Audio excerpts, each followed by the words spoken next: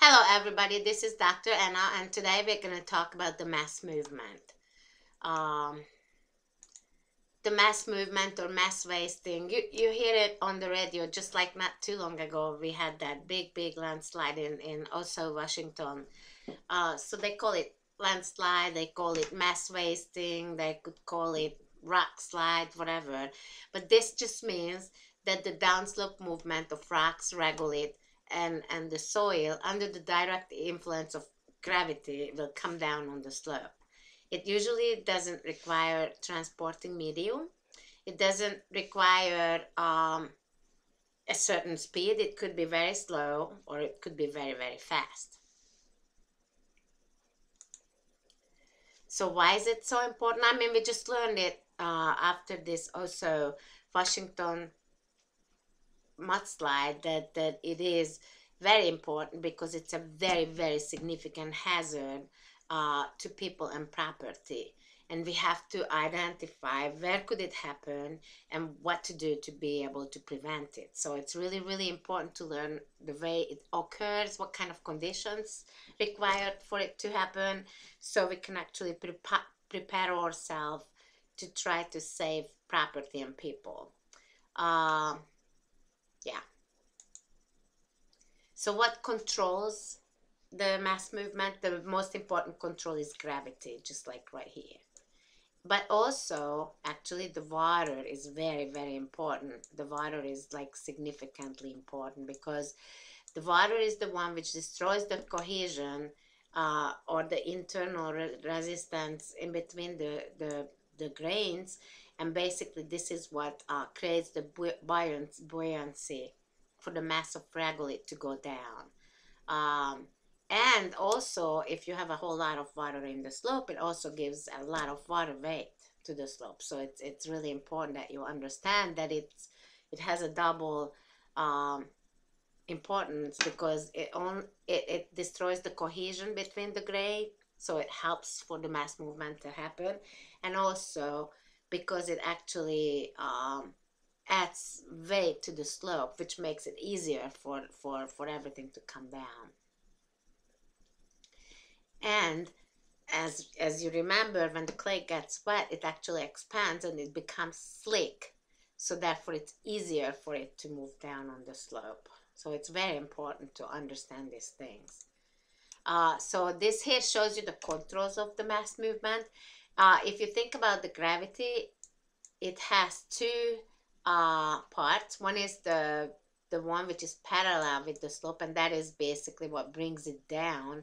And the other one is which perpendicular to the slope that actually helps for the friction. The friction is what holds it up. So the friction and the perpendicular component of the gravity holds the, the rocks up on the slope and the other part of the gravity which is parallel with the slope which, which works against the the these two. So if if we call this g perpendicular gt gp and this is the friction and this let's say is the gd that's the uh, the one which brings it down. So if this gd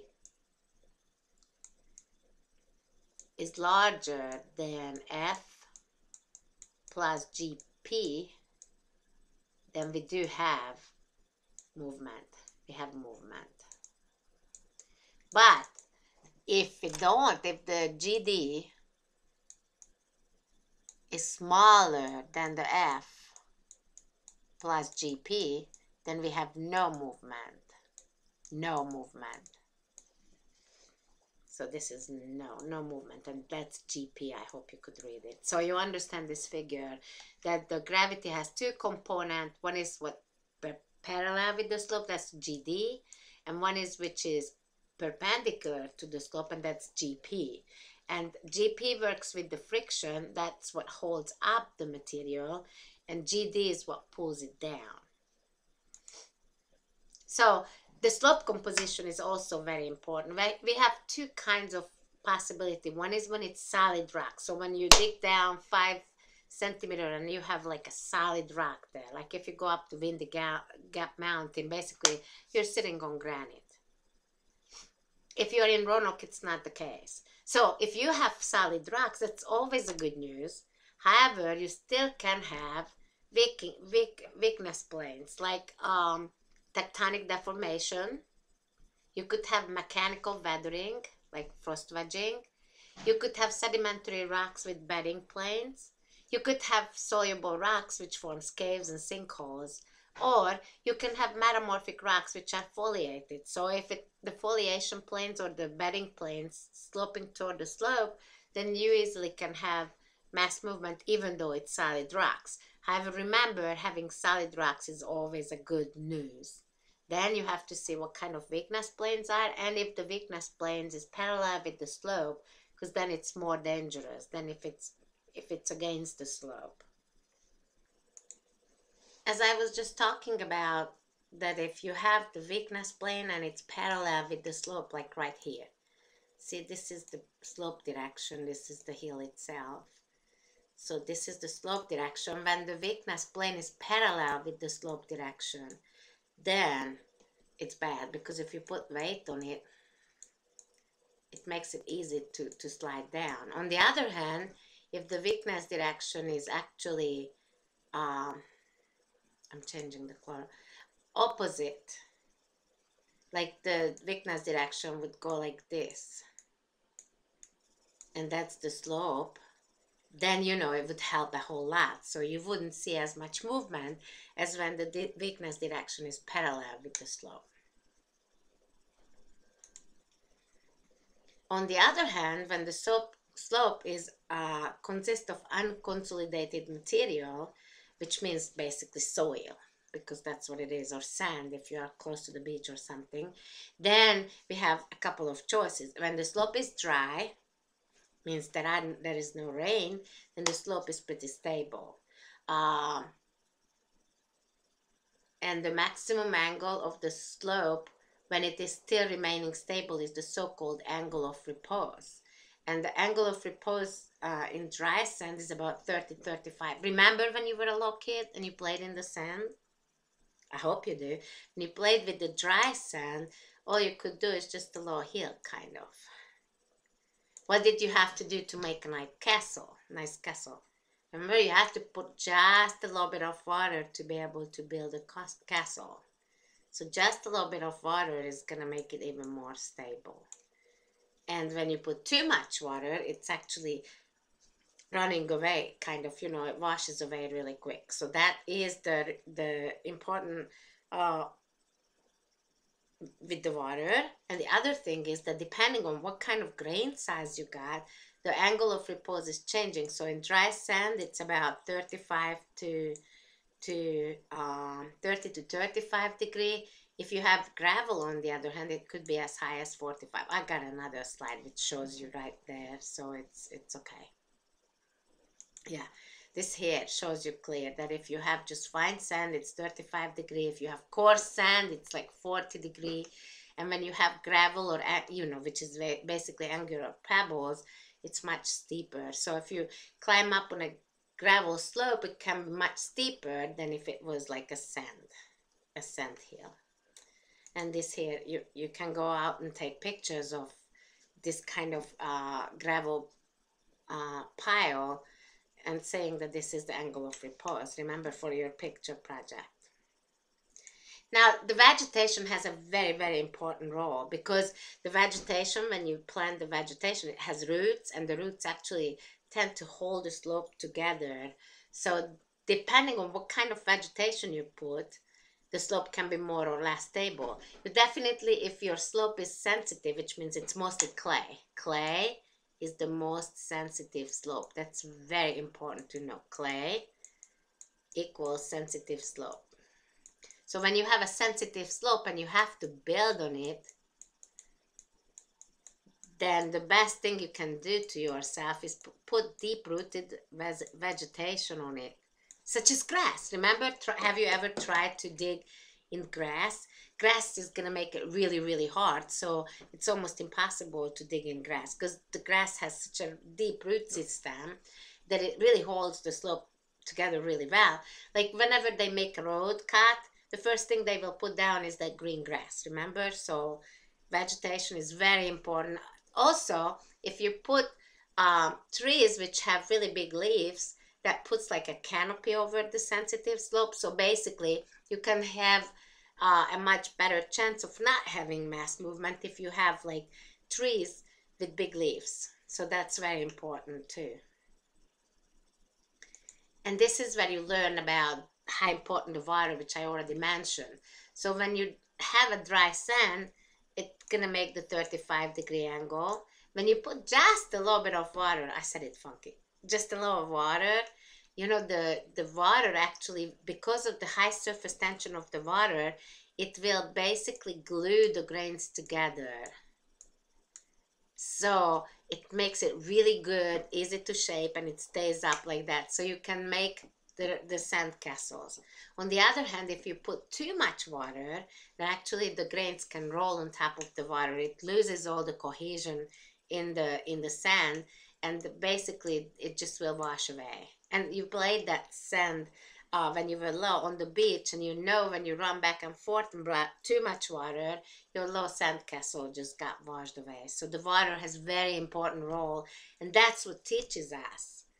Like if you have a slope which seems like really stable, you don't know if it's going to be stable if you get a torrential rain. And most slopes will not be stable when you get a torrential rain. Like in Nelson County, 1964, there was a huge hurricane, Hurricane Camille, which which dropped like 25 inches of water in one day 20 in less than 24 hours 25 inches and half of Nelson County have died of mass movements. Basically just like the mudslide in Osceola County Washington just which happened this weekend. I mean it was crazy.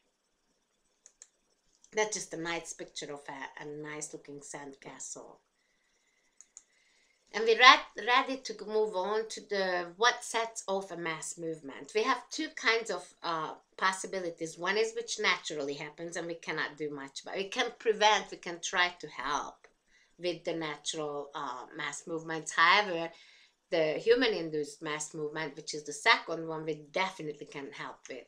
So the natural settings, um, the natural triggers, the first one is the torrential rain, and that is always an uh, example right behind it.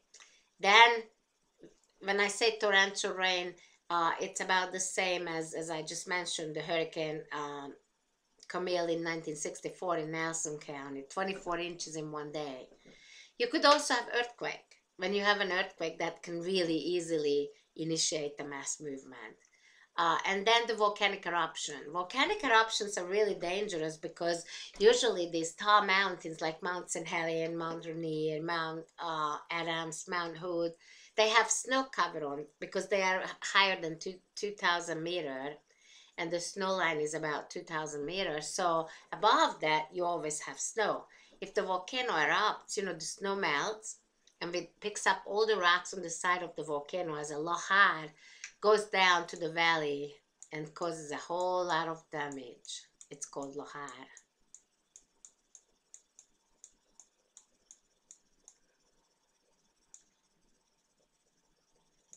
And there is a landslide which was triggered by a big earthquake in Alaska. This is another one, a mudflow from Tajikistan. And this here is a, a very important thing that you should know about that when you have a, a forest fire, basically when the trees burn, what happens if you have a sensitive slope, like in this case, when you take the canopy off of it, which means the trees burn down, you basically have an exposed sensitive slope to any rain. And if you have rain, you know, this whole side will come down easily. Like there is one here, it's a it's a pretty basic, uh, amazing landslide, which I shouldn't say amazing because a lot of people must have died here. Um, so, yeah, you have to be careful. Just because the view view is nice, you don't necessarily have to move on the side of a mountain where you know a mudslide can happen anytime. Like there is this one. This is the La Conchita mudslide. Uh, and you can clearly see that before they started to build this um, subdivision, you could see that there are uh, areas of, of mass movement right there, previous ones. You can clearly see it. And actually, they saw that there are problems here, so they put a retaining wall.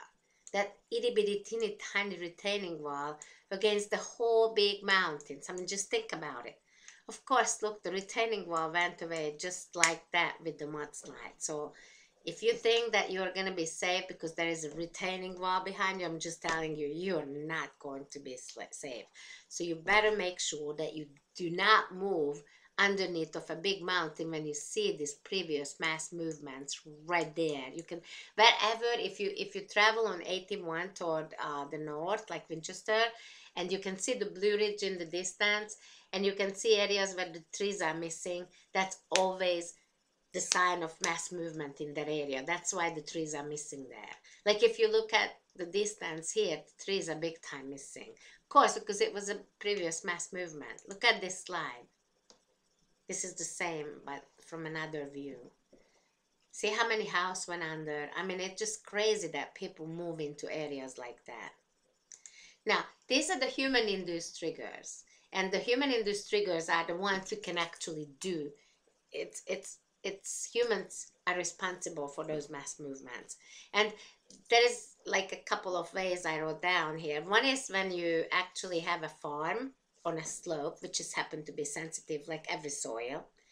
And um, one year you decide that you're going to change the plant and you're going to plant a different one without thinking of what kind of root system it has. So as soon as you have shallow root system, and you want to water your plants, you have to start thinking about mass movement because it happens. It happened in France. Uh, it's in the book, a very good example. Now, what if you oversteepen your slope? Like let's say there is this, this is your original slope and you cut down for a base, you know, for a house. What, what did you just do? You oversteepened it right here and then you put a weight on it. So basically, this is absolute mismanagement. And then, what if you over irrigate? That just means that you water your plants on a sensitive slope, then you can have the whole slope going down. Or you install leaking septic system. But remember, every single septic system is leaking because what happens here, you have the, the big tank which collects the, the solid waste and then from that the pipes are going out it's per which means it has a lot of holes. And the water which doesn't have the the big uh, solid waste will actually sink into the ground. And if your ground is not so good you know it can easily over irrigate it just like an over irrigation system. The other thing is that it when when clear cut forested slope we talked about that already or if we cut into the basis uh, of, of um, sensitive slope for building houses like here. And mass movement can also in, initiated with uh, quarrying in some quarries, you know, and blasting for, for quarrying basically. So you have to be careful about that. So these are just a couple of, uh, like a picture showing these we just talked about like here is when they cut the slope you know like they cut the slope they make roads and they steepen it even more. They put the house which puts waste and then they over irrigate it. So when you when you sprinkle the grass basically you over irrigate the slope okay? I'll continue in the next segment